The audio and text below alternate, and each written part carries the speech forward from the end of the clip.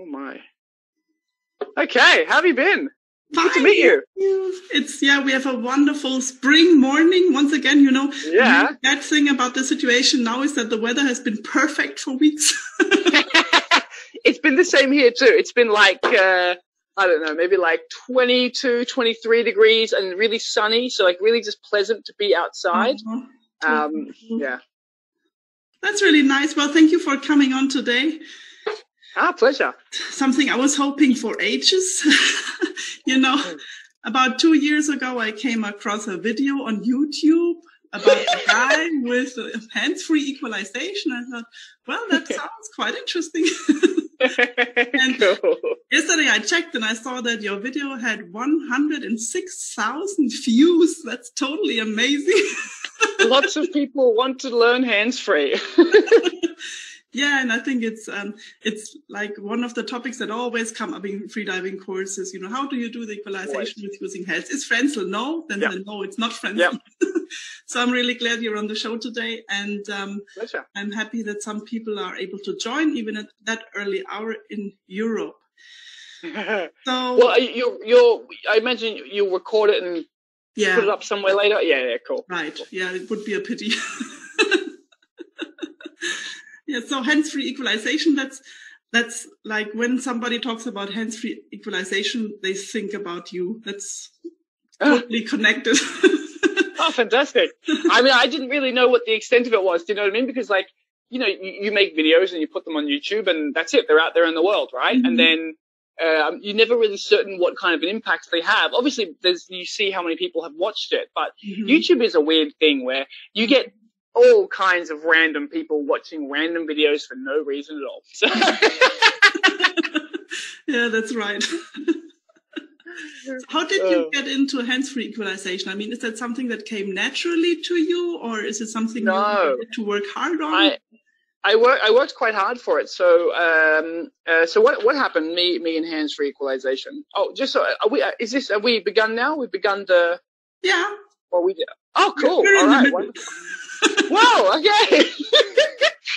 so, uh, I began, uh, okay, so I started freediving in Koh Tao, uh, at uh, the apnea total school there. Mhm. And when when I went there, they had this. Uh, I did like a master course, so you stay there for like you know four or six weeks. You just you just dive every day, and as part of that, you know, they gave you this piece of paper that said how to learn hands-free equalization. And what I've realized is that it's like a, a very like an old. It's a translation from like an old French uh, manuscript. Mhm. Um, uh, and like they basically said, okay, there's a bunch of really weird exercises. Uh, do them every day, and you'll be able to hands free. And I was Mhm. like, oh, well, I really want to be able to hands free because I just, I just thought it was so, I don't know, like, you know, you, you, you, the idea I had in my head of freediving, um, and then obviously having to pinch my nose everywhere I went didn't link up with the, that, that freedom feeling I wanted. Um, so, so I went through the exercises every day Mhm. and I was really diligent with it. Um, and some of the exercises were, looking back, some of the exercises were, were, you know, quite good and some of them were missing the mark. Um, and in the end, uh, what, what I did was I remember every day I, I would go swimming breaststroke and every time I'd go under, I'd go under like quite deep. And as, as I'd go under like half a meter or so, Mhm.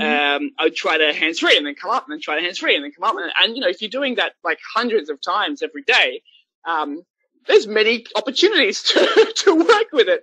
And then eventually it worked. And I was like, oh my God, I can hands free. And then I couldn't really do it on dives, so I could do it a little bit. And then over the years, it just sort of got stronger and I got more control. And then, you know, then I was doing it, uh, you know, to my deepest depths. And, uh, and then here we are. hmm Cool.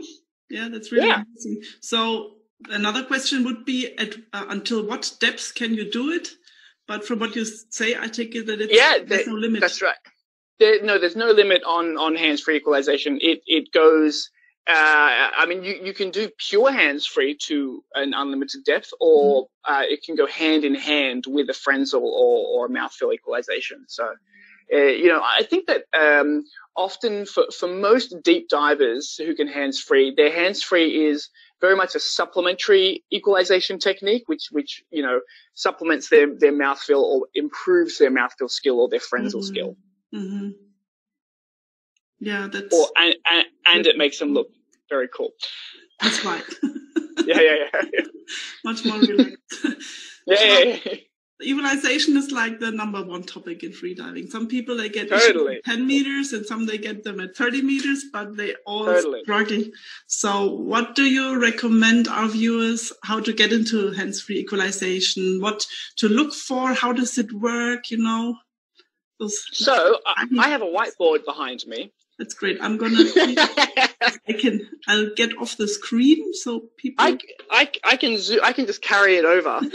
like I'm just using my phone.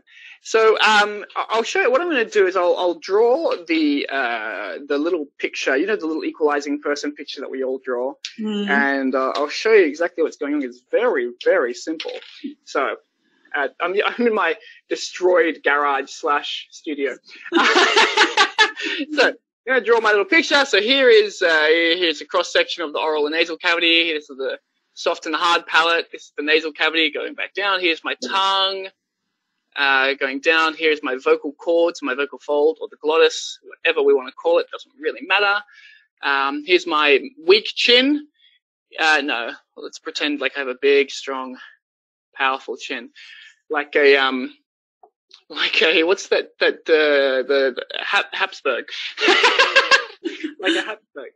Hmm. Um, all right, my eyes, la da, back, and and there's there's you know the the sort of the, the cross section of the oral and nasal cavity. So um, the opening to the eustachian tube is uh, right here on the back of the nasal cavity, right? So we just draw like a little eustachian tube here, Mhm, mhm. and here's our middle ear. Um, now, what happens is we have a like a muscle here in the back of our soft palate, and when we position it in a certain way, we pull down on the underside of the eustachian tube on its own, and it opens up. Mhm. And then there'll be there's always going to be now obviously this this is uh, depending on, on how we use this, but there's always going to be a pressure difference, right? There's always going to be like uh, especially if if we haven't equalized, there'll most likely be a lower air pressure in the ear, and the second that we open that up, the air will be pulled in. Mhm. Or that's that's one sort of way to view it, or one way to do it. Or I, I find that that especially beginners have have uh, uh, which is why I always teach it this way. That beginners have a they have um, like a higher success rate if at the same time as opening they also lift up their their larynx Mhm. and like do like a, like a like a partial frenzel equalization or just like you know just the bottom part to Mhm. shift a little bit of air in there so that they're not relying purely on perfect timing to make sure they're they have the pressure correctly. They can just always shift air up into the ear.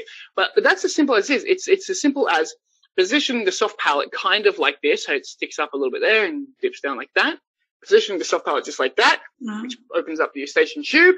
And for an added little bonus, just move some airflow up into the nasal cavity. Uh, and, and that's, and that's, that's really the simplicity of no hands.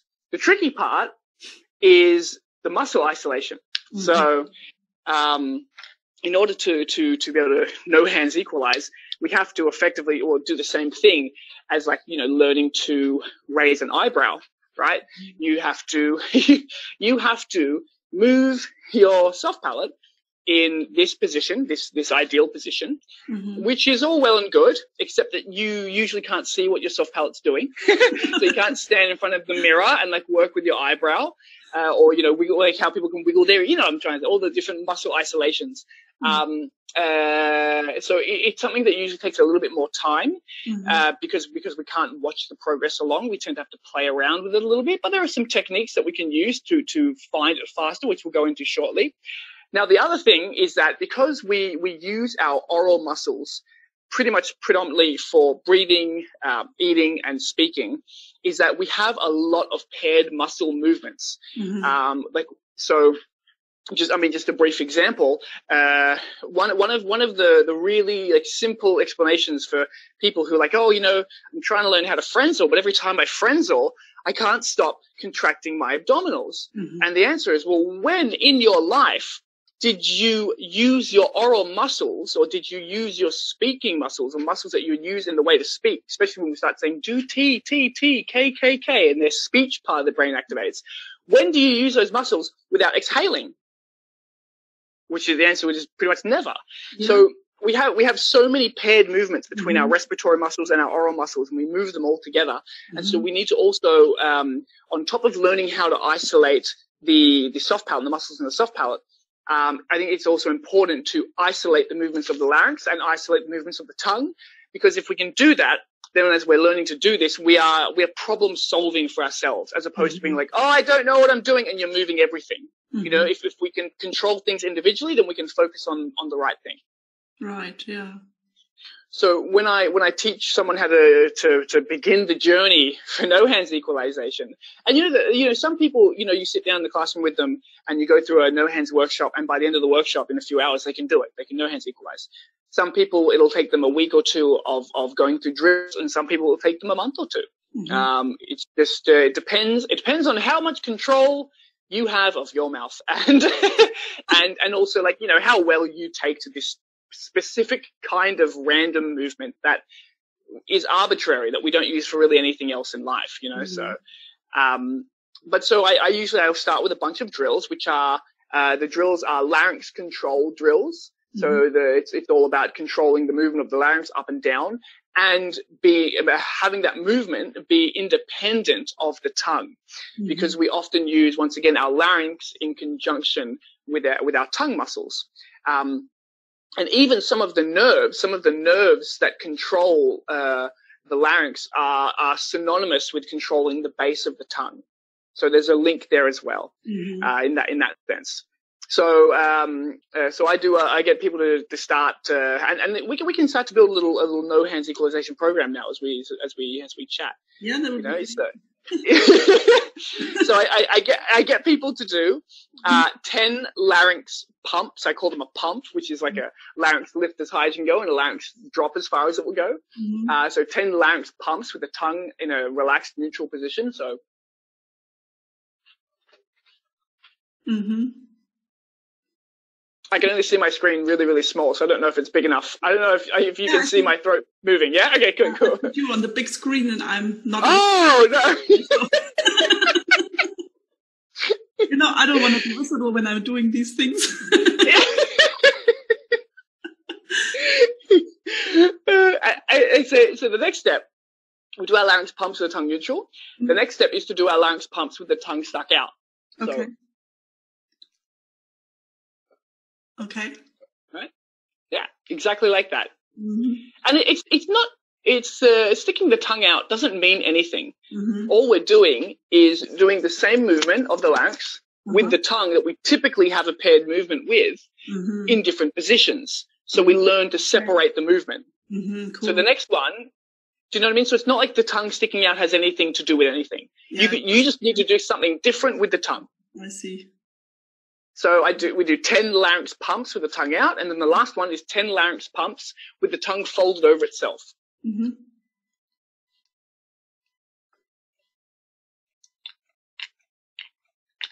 And this is where you get the weird sounds beginning. Mm-hmm. The weird choking, gagging sounds. Mm-hmm. Yeah. like the so, uh, throat, they tense up, right?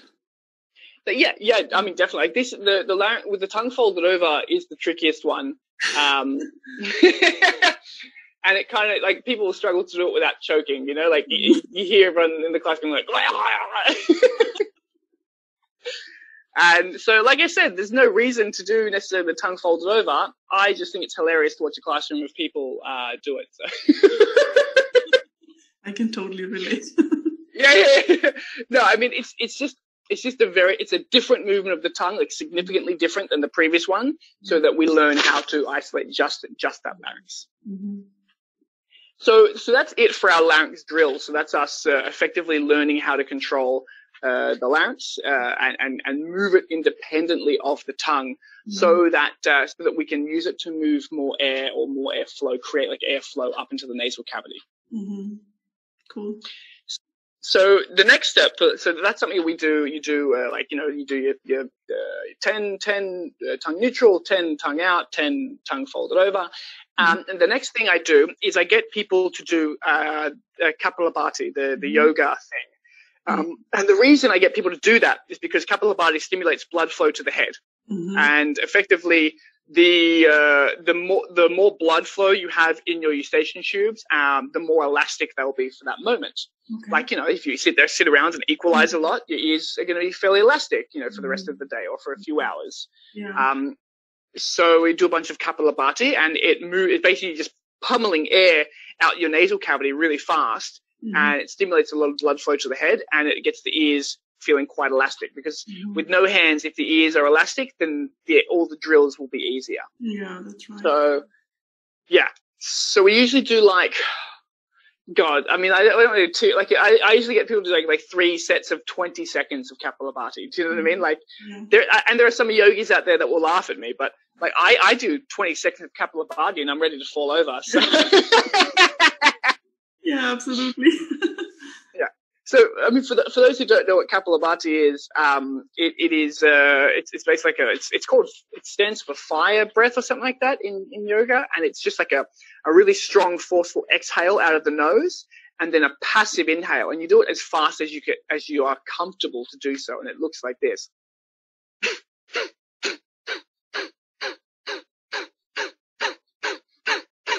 So I'm doing a fast, short, aggressive exhale, mm-hmm. and then relaxing, and then the air just you know moves back in as I as I inhale. But the inhale is passive, but it's really about that forceful exhale.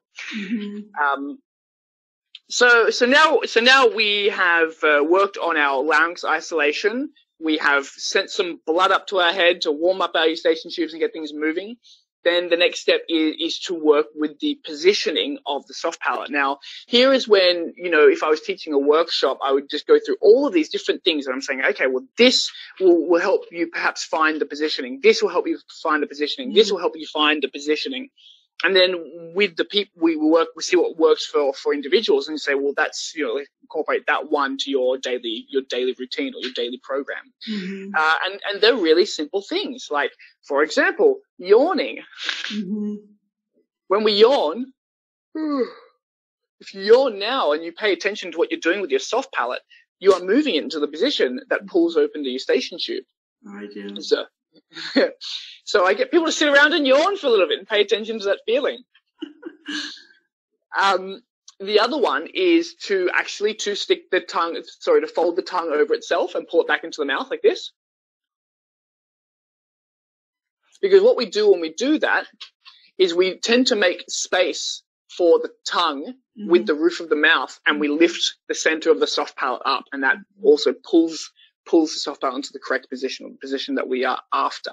Yeah. Um, and we sit around and we, you know, we play with these things. And, you know, if, if you're looking at learning, you know, how you sit around and you play with these things and you, and you get a feel, you get a feel for how you're positioning your soft palate. Mm-hmm. And you can, you can look in the mirror when you're doing it too, you know, especially with the yawning exercise. You can look in the mirror, mm-hmm. and yawn and see where things are moving because you'll see big movements, um, mm-hmm. up in the roof of your mouth. Mm-hmm. Um, which then brings us to, I suppose, probably one of the most beneficial parts or one of the most important parts of the daily routine, which is the humming.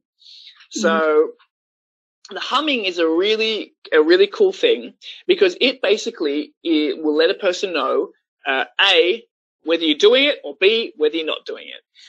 Because, um, like I said, uh, we don't have the ability now to to look in the mirror and try to isolate muscles and see if it's working. And, you know, mm-hmm. so it's, it, these are internal muscles that we can't really see. Mm-hmm. Uh, so what we have to do is we have to have some other kind of feedback and the humming creates that feedback. Mm-hmm. Humming, uh, uh, basically we, we, we place, um, uh, I like to get people to hum different letters because, and, and once again, the letters are arbitrary. They don't, it's not like one letter is better than the other. It's just that we all move our mouths in different ways. And, mm-hmm. you know, if we hum A, it might work for you. And if we hum O, it might work for you. And if we hum E, it might work for you. Okay. And we just hum different letters and everyone finds the one that they, they feel the best with. Mm-hmm. Um, the most common one that tends to work for people is NG. Mm-hmm. You know, like, mm-hmm. like the word, like at the end of the word sing, yeah. mm, that one.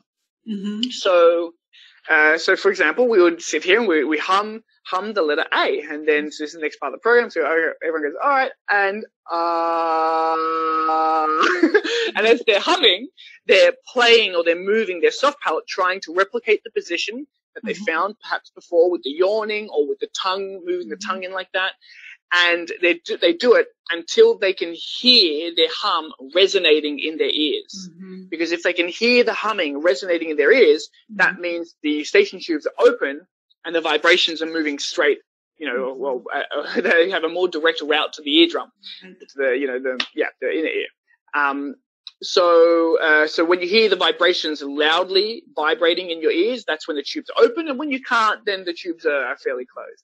And most people, would say, oh, I heard it for a bit and it closed and it's just about developing control. So I will often have people like hum, hum A for a while, hum mm-hmm. E, like all the vowels mm-hmm. and then NG. And mm-hmm. then I also like to throw in like a consonant or two, like D, because at, at, that, if we do D, we're putting the tongue in a similar position as a T frenzel. Mm-hmm. The, you know what I mean? Mm-hmm. But, um, so yeah, uh, uh, so that's our, our humming phase. Mm-hmm. And then towards the end of the, of the daily program, you just try to put it all together. Oh, I, I'm going to plug my, uh, I got to plug my phone. I'm gonna, I'm just going to change, change spots. um, yeah, then you just put it all, all together mm-hmm. and, um, you, uh, yeah, that works good. Uh, and, and you, uh, position the soft palate as you, uh, as, as, you want to, as, as it's meant to be positioned, as you lift the larynx up mm-hmm. and create airflow and push a bit more air into the nasal cavity. Mm-hmm. And once again, the, the, pushing the air up into the nasal cavity is not, um, is not something that, uh, we need to be doing, especially on a dive. Mm-hmm. But I find it gives uh, someone who's learning a much higher success rate because as opposed, you know, as I was saying before, we're not waiting to time our equalization perfectly. We can just punch a bit of air up in there and then down the line we can learn to take that away. Yeah. Yeah, I think that especially I love the humming exercise because yeah people can practice and they immediately totally. know if it works or if it doesn't. Usually they practice a try and hope it's going to work, and then they go. Yeah, they go. They go for a dive and like, oh, what happened? totally, totally. And some people they they get to go deep diving like three or four times per summer. Mm-hmm. Mm-hmm, mm-hmm. they keep practicing and hoping and practicing, but yep. the humming exercise they get the feedback immediately. So I really love that. Yes. Totally. Yeah and it's all about awareness, I guess, from what you're saying. Yeah. First, find out what you're doing, and then isolate the movements and the muscles. Exactly. I do find that, that some if, if we're in a rush to skip be skip past the isolation phase, mm-hmm. by the time uh, a person is like you know really learning to put it all together at the end, uh, they they they have much uh, less problem solving capacity. Mm-hmm. Um, because like, oh, well, you, could this be going wrong? Could that be going on? Or could that be going wrong? Whereas if we are isolating these muscles properly and we, we know how to move them, mm-hmm. uh, at least we know we can rule all these things out and just say, okay, well, I didn't find the correct position of my soft palate today. Mm-hmm. yeah. Yeah, that's cool. Um, how how much time do you recommend to find that out? I mean, we've gone that through that really quickly, but yeah, would you say what would be a good time frame to go through these exercises? I think yeah, about 15 minutes per day would be would be the best thing to do, and um, and you practice these exercises every day until you mm-hmm. get it. and, and, like I said, that that might take you one day, it might mm-hmm. take you one week, or it might mm-hmm. take you a month or two months, but you know usually it's not much longer than that. yeah, but it's worth it, and I think if somebody really wants so to, it. they'll find the 15 minutes per day. Exactly, and you can do it while you're doing anything else. I mean, you could even you could probably even do it in an office as long as people didn't mind you humming every now and again. Mm-hmm. But um, uh, I, I, think that um, like like hands-free equalizing is amazing. It's it's one of the best skills to learn in freediving. So I, I think it's totally worth it. Mm, yeah, absolutely. Great, thank you. Um, does anybody have any questions? Please put them in the chat so we can answer them now. Natalie says, so funny. My family thinks I'm crazy. yeah, I can totally understand that. okay, no further questions. That sounds good. Well, that was helpful, and um, I think it, it helps. Uh, it takes a lot of pressure of pressure out of the free diving for many people. Yes, totally. When I came across your video about the hands-free equalization, I also learned about your Patreon project. oh yes, and I found that really I found that amazing. And um, the first thing was, yeah, I want to support that. So maybe you can tell us a little bit more about your freediving family project and about your deep weeks and what you're all up to. So, um, okay, so the the, the freediving, uh, oh, we actually really quick. We have a question from Natalie, ah. which was um, something about. Would, uh, do actually? Would you mind reading out because it's, it's yeah, faster to navigate on the computer, I imagine, than on a phone. Um, I have a question. Do I have to do all together, all the different exercises? Uh, so you do it. We do it one by one. So you first start with the larynx control. So 10 pumps, tongue neutral, 10 pumps, tongue out, 10 pumps folded over. Then we move to the uh, Kapalabhati to warm up the ears. Then we move to the um, soft palate uh, awareness or isolation exercises, which mm-hmm. are the humming, sorry, the fir- first like some yawning maybe, and then some just trying to feel it out. And then we move to humming. Mm-hmm. Uh, and then we move to putting it all together at the end and, and, mm-hmm. and seeing if we can make it work. Cool. Thank you. Natalie says, um, oh, okay, great. Thanks a lot. Thank you. um, so uh, about the pa- the Patreon thing was um, was a was a fun project. So basically, uh, you know, I, I started making. Um, okay, so okay, I, will go I'll go back in time a little bit. when when I first got into freediving, um, it was impossible to find information. Mm-hmm. Uh, if you didn't train with an instructor, or then then that was it. You didn't know. And then what happened when you became uh, better than your instructor? What happened when you, just in terms of your performance, right? What happens when you're diving deeper than your instructor? When your instructor doesn't know the, what it's like to be as deep as you are and answer the questions you might mm-hmm. have.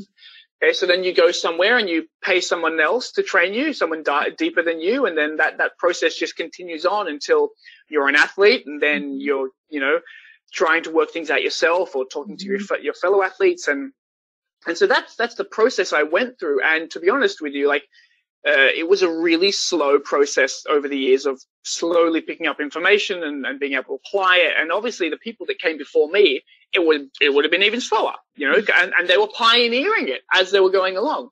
So um, I just kind of felt that uh, oh, there was also this mentality at the time of um, oh, you know, like a, a freediving instructor's information is their like way they make a living. And so, because people would always send you messages like, "Hey, you know, can you give me some tips about freediving?" And then the the general uh, feeling amongst instructors was like, "No, like you can pay me." Mm-hmm. and um, and I didn't necessarily agree with that because uh, I just thought it was impossible how is everyone like a not everyone can afford a freediving course and b not everyone lives near a freediving instructor. And this was also now now everyone lives near a freediving instructor. But maybe you know five five or ten years ago they didn't. Yeah. So i started making some like basic youtube uh, tutorial videos and obviously people liked them and it was the first I, I suppose i was the first person to start doing that and so they were the first of their kind. Um, and then i thought oh well you know this is really cool but like uh, uh, so also the other thing is is that um, about 60% of the people because uh, I was also playing around on other social media at the time right like on Facebook and Instagram and YouTube and all that and about 60 or so percent of the people that followed me were from third world countries mm-hmm. who were just under no circumstances going to be able to afford a course with me or just about anyone else mm-hmm. um, and so I thought okay well here I can make why don't I put together effectively a um, uh, like a, a complete digital freediving manual that I can give people access to really, really cheaply because, uh, now, I mean, now I also sell it, but, uh, like in the beginning as well, like it was, it was all, you know, people got access to it for, you know, two, five or seven dollars a month, however much they were willing to, to donate or pledge to the project.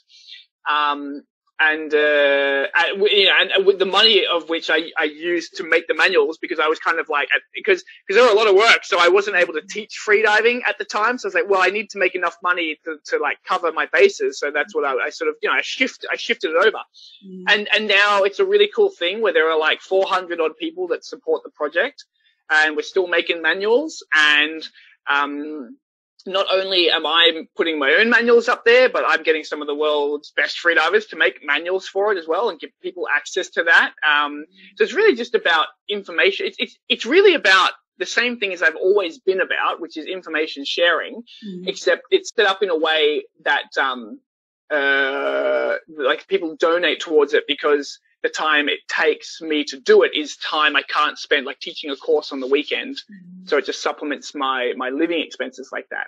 Mm-hmm. Um, so like now we have we have Dean Schausch who has made a um, he's a British uh, no fins record holder who's made a no fins uh, masterclass and he's made a mm-hmm. bifins masterclass and mm-hmm. Thibaut Guignes the French champion is mm-hmm. is making a free immersion masterclass and a mental training masterclass. You know what I mean? So it's re- I think it's really really cool. Mm-hmm. Um, yeah, that's about it.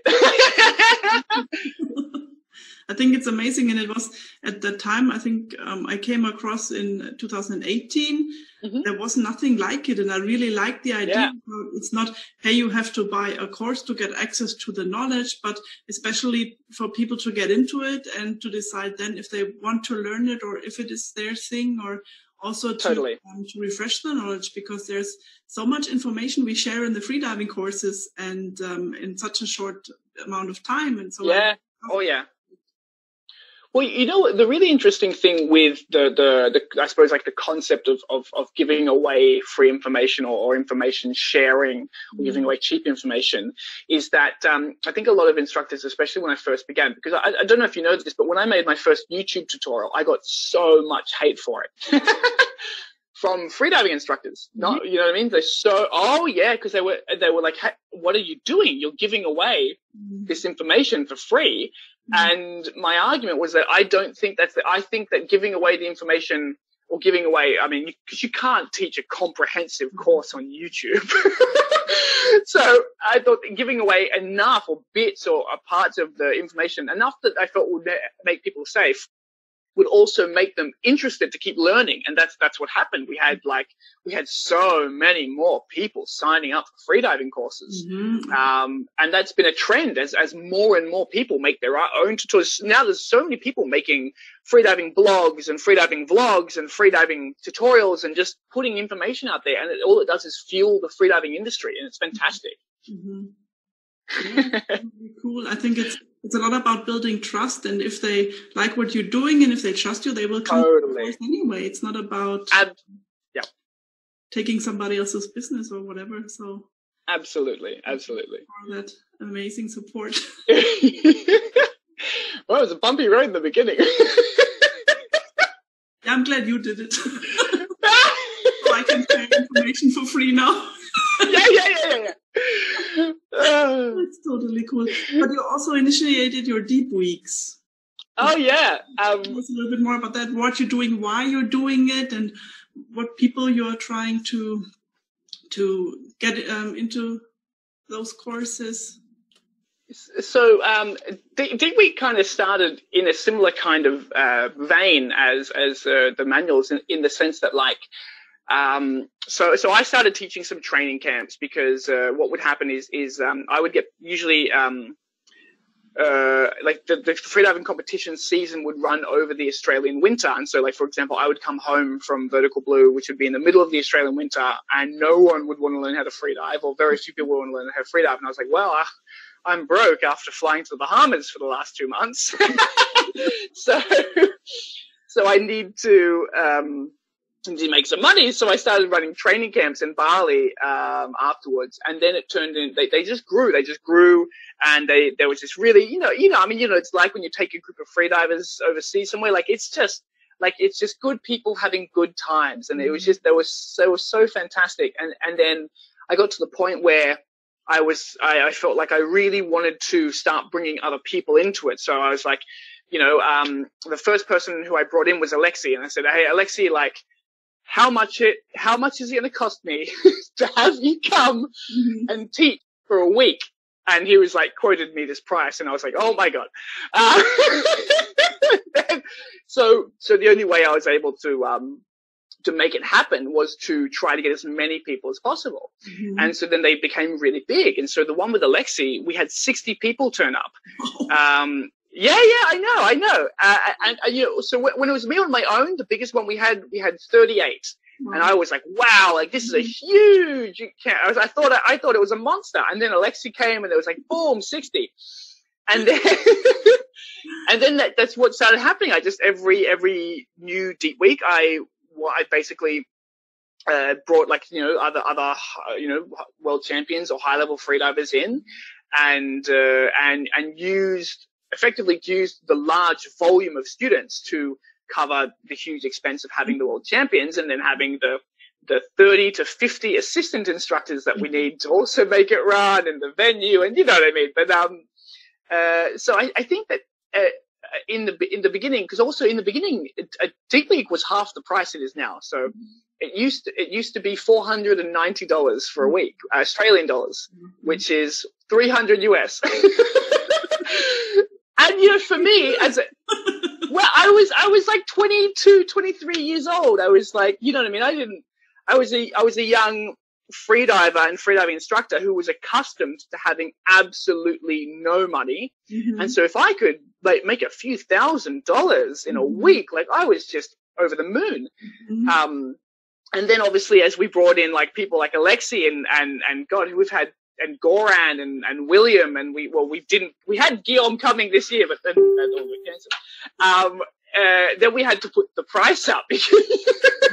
but originally, originally it was all about making making training with these people um, as accessible as possible. Mm. And when we put the price up, eventually it, it, became not accessible to a lot of people in Southeast Asia. So then we, mm. we started doing the Deep Week Scholarship, which was, you know, offering free spots to locals and offering free instructor courses to locals so we could try to because uh, I've always felt really bad, or really, I felt I've actually always felt really uncomfortable about the fact that uh, in a lot of uh, a lot of uh, like Southeast Asia, the freediving industry is controlled by foreigners, mm-hmm. um, charging foreign prices for foreign services. Mm-hmm. Um, so we, we've always tried to get as many locals to become as instructors as possible. And that, that's not just been me. That's always there's been so many people who've been a part of that or trying to make that happen. And, and now, now there are now, especially like in countries like the Philippines and Indonesia, there are so many uh, local freediving instructors. There's entire, you know, local freediving communities, and it's fantastic. You know, like, mm-hmm.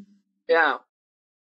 But yeah, I mean now and then I think as it went on, and then it turned into I suppose less because they used to be like more like work. Uh, they used to be more like training camps, mm-hmm. and then they beca- they became bigger and bigger and bigger. And, and, I suppose the bigger they became, the larger our budget became, so we could afford to include more things. We could, you know, like um, uh, you know, at the last uh, Deep Week, we had William Trubridge and Vitomir Maričić, and we had several other like really high profile people mm-hmm. teaching all at once. And so I suppose, like to me, like it became more like a festival. Yeah. You know how like, yeah, yeah, because you know how in a festival it's like they have stages everywhere. and Like, oh, you know, go over here and hear that person mm-hmm. playing, go over here and hear that person mm-hmm. playing. And I was like, well, we're doing the same thing. You know, we've got we have three workshops we, so six workshops every day, three all running at the same time in two different mm-hmm. workshop slots, and you there are three different people speaking about three different topics. And you just go to whichever one you want. That's every goddamn day.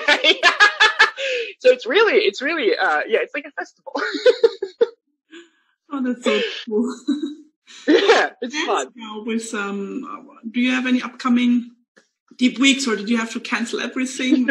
we cancelled everything. Uh, well, okay, well, actually, scratch that, scratch that uh, Deep Week Croatia is mm-hmm. still going to be viable, I think. Okay. Um, I I won't be able to get there, but Goran is going to run it. So we have, uh, yeah, we have quite a few people booked for that one. I think that probably r- realistically, about half the people we have booked won't go or won't be able to go. Mm-hmm. But I think that there sh- by by the end of August, start of September, there should be enough uh, travel like domestically around Europe that the Europeans will be able to go because it's almost exclusively Europeans that have booked onto it. So, okay. uh, so, so, that's happening, and then we are going to aim to do another one in November in Bali, but mm-hmm. I haven't. I haven't like pulled the trigger on like announcing it yet. Do you know what I mean? Because I just don't want to jump the gun. Yeah, keep the fingers crossed. yeah, yeah, and and you know like the worst, I, you know, the worst thing is like, uh, you know, uh, planning an event, announcing it, is starting to accept deposits and payments from people, and then in a few months' time saying, "Hey, sorry guys," and every, and everyone misses out. Everyone, you know, they buy flights, they they they organize their leave from work, all that kind of jazz. So I'm not I'm not going to announce another one until I'm absolutely certain that it will it will run. Yeah, I can totally understand. yeah. you don't want to do that again. Yeah. Um, Wonderful. Um, one more topic I have is talking about the Molchanov system. Yeah, yeah. It's uh, It's been out for I think two years, but in Europe mm-hmm. there's not too much information available. So maybe okay. tell us a little bit more about what the philosophy is. Is it really about uh, creating athletes and meters and minutes, or is it for what people is it? Why why is there another system? And yeah, what what's totally. why? why? All right, I tell you, I tell you exactly why. So uh, about a little over two years ago, it's about three years ago. Um, I I was uh, I was working with PADI, and uh, I was uh, one of the five first instructor trainers that PADI effectively launched their program with. And the, and the program was full of holes, as you may well be aware. Do you, do you, do you teach PADI? PADI instructor trainer. I mean, so am I, you know, still. I mean, technically, I haven't given up my status. Um, uh, but there were many things about it that I didn't like. Mm. And I, I would bring it up with, um, with the, I, I, brought it up with the CEO of PADI once, and I brought it up with the regional managers of PADI for Asia Pacific, mm. and and I would always get the answer like, oh yeah, you know, like it's just it's all new, like we're going to review the system, la di da di da di da, mm. and then eventually, like years later, uh, I realized and was basically told like, hey, no, we're not ever going to change mm. these things that you keep telling us are huge mm-hmm. flaws, mm-hmm. um, and so I decided to to leave, and at this time. Uh, at this time, really, there was like, um, I suppose internationally, there was AIDA, there was SSI, and then there was PADI. And, and it, it really, it really bothered me that, that the scuba diving agencies were going to do their very best to take over or to dominate the freediving industry. Mm-hmm. Um, and so, you know, I, uh, I knew that Alexei had the Molchanov system in Russia. And I, you know, I'd spoken to him several times about, hey, why don't we make this thing worldwide? Why don't we launch it? Why don't we, you know, turn it into something international? And he was always, in the very beginning, he was always a little bit hesitant because, um, you know, it's a huge, like, you know, it's his baby, right? It's something that he, his mum originally came up with. And here I was like, hey, Alexei, give me the reins of this thing. Let me, like, you know, so he was understandably hesitant in the beginning. Mm-hmm. And then uh, we got some other people involved, like the current CEO, Chris Kim, and then um, and then it started, the ball started to, to move a little bit faster, um, and, and things, and, and uh, we were like, okay, we're going to do this. We're going to, we're going to create a new system. Um, and so in many ways, this, the system was, there were several different reasons for it. So, um, uh, for, for Alexi, it was a way in which, uh, I suppose he could uh, continue his mum's legacy. It was a way in which he he because you know he also felt like he he also didn't look too highly on a lot of the the other freediving agencies and what they were teaching. So it was a way that he could improve that. Mm-hmm. For me, it was a way we could also you know improve the quality of freediving education and create something that um, would pull freedivers together so that that we didn't lose freediving to the uh, terrible money making machines that are the scuba diving agencies, in my opinion, mm-hmm. at least. Mm-hmm. Um, uh, and so, and so, and, and that, that was actually one of, you know, it was one of the, and, and also, you know, it, it wasn't, it's, it's, it's becoming easier now, but it wasn't easy to make a living as a freediving instructor. And so we were wanting to make it as easy as possible. Um, and this is like one of the reasons why, you know, for Molchanov instructors, there are no certification fees. Mm-hmm. You know, you pay like a, like a, like a, like a annual renewal fee, which is larger than other agencies, but mm-hmm. it's like, uh, for someone, if, if you're teaching like, you know, like a, if you're making a living as a freediving instructor, mm-hmm. you're saving usually tens of thousands of dollars in fees you'd be paying to the agencies for the privilege to certify. Yeah. So we wanted to get rid of all the road bumps and it wasn't about making money. And the thing was, is that Alexei also was selling gear. So we're like, okay, fantastic. We can, we can sell gear mm-hmm. and use the money to make education like, you know, more accessible, better and allow our instructors to make more mm-hmm. money out of it. So, you know what I mean? Mm-hmm. So, uh, there, there was a lot of, there was a, there was a lot of things involved in why we built Molchanovs, but all of them really came out of like, like a bunch of really young people's idealistic views about what freediving, what the world of freediving should be, mm-hmm. and um, trying to preserve what we loved about it. You know, which was which was why we've had so much emphasis on community building, and mm-hmm. which is why we we started base training, which is like, mm-hmm. you know, um, training program that all our instructors and students get access to free of charge every week. you know, that we can all train around the world together. You know what I mean? It was it was all about preserving what we all loved about freediving because we, I, I felt in particular, I felt this impending doom of um of of losing freediving of losing the freediving industry to to big business. Right. Um. So yeah, that, at least that was those were my motivations. I mean, I don't know. Uh, you know, uh, maybe Alexi will have other things to say. Yeah, we'll ask uh, yeah, yeah. I put some words in his mouth, but you know, I'm sure he'll say. It. I'm sure he'll say something similar. To yeah, a, a totally um, a new assistant because the missing link so far was how get people or how keep people involved after courses. Mm-hmm. Yep. Um, when I did my freediving education, like 10, 15, you know, 10, um, 11 years ago, then it mm-hmm. was, okay, I want to learn freediving, then I take a course. And if I want to learn yeah. more, then I have to sign up for the next course, even though I'm not sure I will pass that because, you exactly. know, but the, and, the, and, the yeah, and and, and, and, and like en- an endless stream of courses isn't mm-hmm. necessarily mm-hmm. the best way for people to learn, you know, like it's all about it's all about experience and mm-hmm. diving and training and you know just doing it you know and and then you know when you want a period of intense progression uh, mm-hmm. you take the next course mm-hmm. but um, yeah i think i think to be honest we have accomplished what we want to achieve with the system mm-hmm. I, I, think that you know and you know actually what's, what's really interesting the truth was at the time when we were sitting around the table talking about this we raised a question like hey why don't we all just get behind AIDA mm-hmm why don't we just support AIDA? Because AIDA is a magnificent organization, mm-hmm.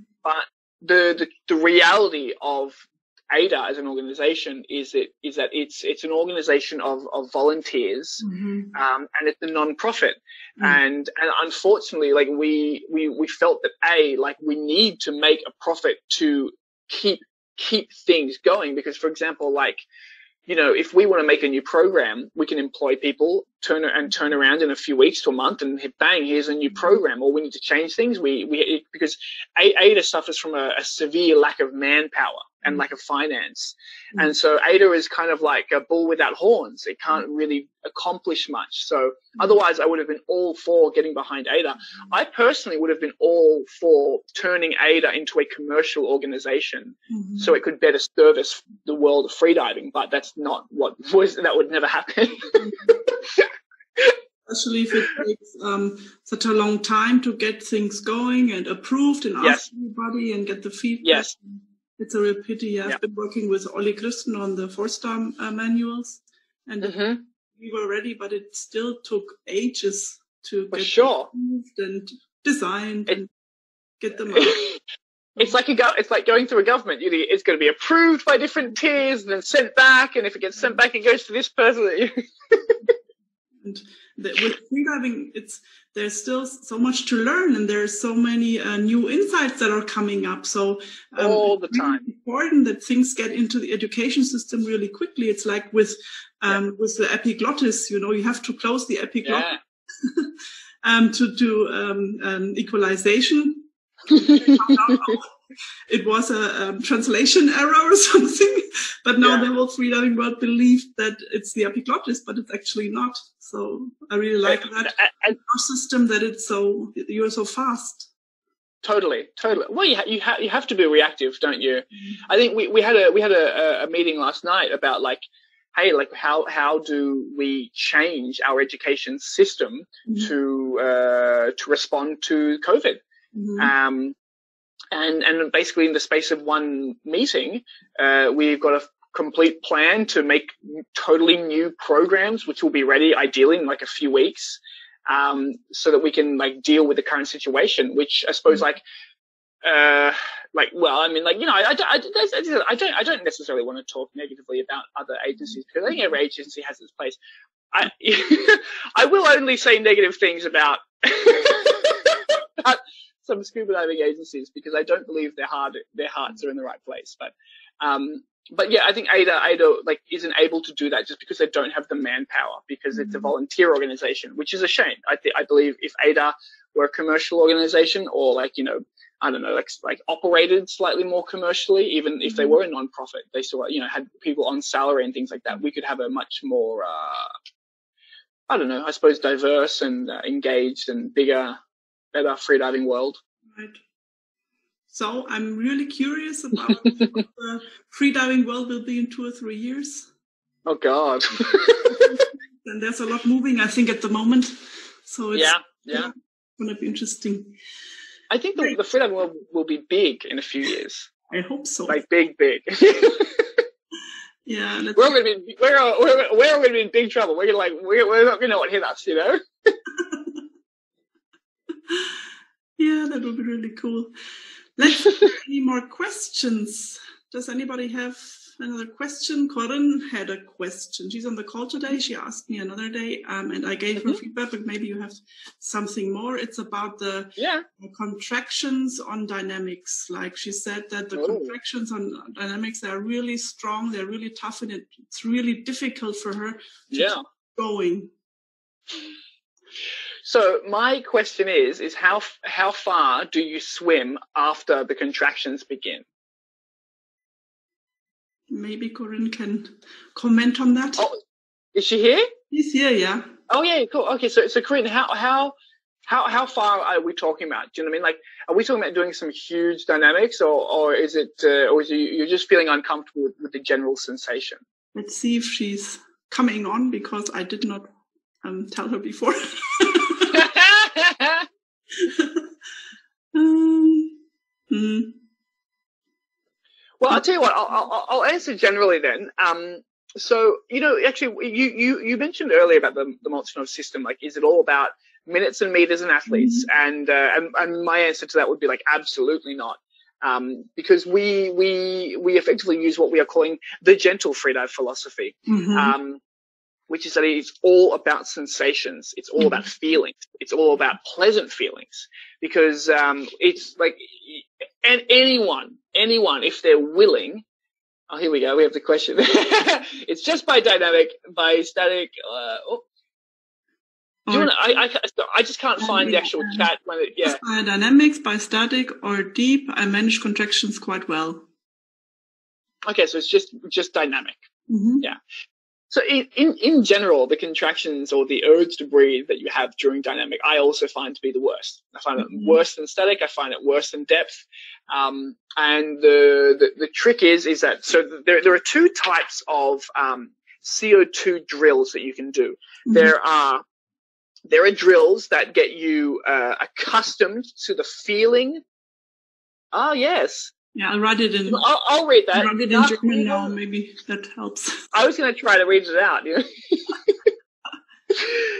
so we have two different kinds of exercises. We have exercises that get a person comfortable with the urge to breathe and contractions, and we have exercises that increase the period of time a person can hold their breath for before they get the urge to breathe. Mm-hmm. Now, most um, after 30 meters. Okay, cool.